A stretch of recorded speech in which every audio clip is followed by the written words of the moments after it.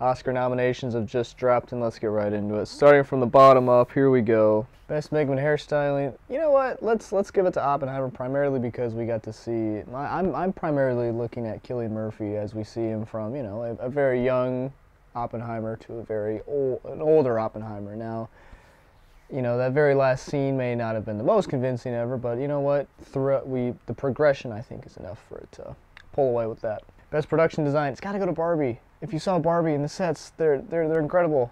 Truly, you know, if if, if, if you know what you're looking at, you know, it's it's it's very admirable. So I think I think Barbie pulls away with that one. Best sound, you know, this is kind of a toss up I think between Oppenheimer and Maestro. So, but I think at the end of the day, I'm gonna give it to Maestro. I think um, I just think you know, because with Oppenheimer, we're really looking at several different sound beats that are very consistent. With Maestro, where we're seeing different things. A lot of it is very music oriented, but at the same time, I'm thinking about Oppenheimer and the way that it's it's it's still a pretty decent toss up. But my heart says to go with Maestro, and I could be wrong, and I might be. Who knows? Best film editing. This is another toss up between Oppenheimer and Killers Killers of the Flower Moon. I would love to give it to Killers of the Flower Moon because really actually didn't feel like three and a half hours long, but I will say I, I, I was 100% sure when we hit about the 240 mark.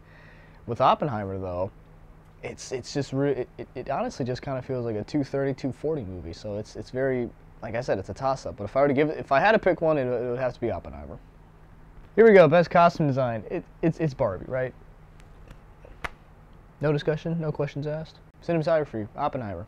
No questions asked. Original song, you know, I was a little surprised when I'm Just Ken won, but then, you know, like, you, you, you look into the lyrics and it's actually, it's actually really cleverly written. So that being said, What I Was Made For by Billie Eilish for the Oscar. Best original score, Oppenheimer, no questions asked. Visual effects, toss up between the creator and Godzilla minus one. I'm not sure what the criteria is, but if you look at the budgets of those films and you look at the the final product, those two are the most justifiable best VFX. But if I had to pick one, it would be Godzilla minus one.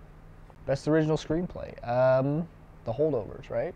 Yeah, I feel good. I feel good with that prediction. Best adapted screenplay, I it's it's it's probably Oppenheimer. Probably if I, like I said, I don't know the criteria, but when you when you figure out that it's it's a base based on a, a 700 page book into a three hour movie, it's I think that's really impressive. I've read the script; it's it's phenomenal.